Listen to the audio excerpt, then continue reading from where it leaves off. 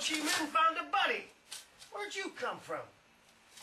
What if that was the guy we buried down here a couple years ago? He, I gotta make Jack and Martini. I gotta find the. I gotta find the vodka. I got... Where is it? Where is it? Gramps, you're in my road.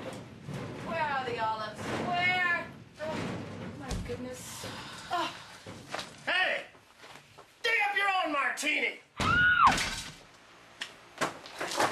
Nice shot with the shovel, huh, George?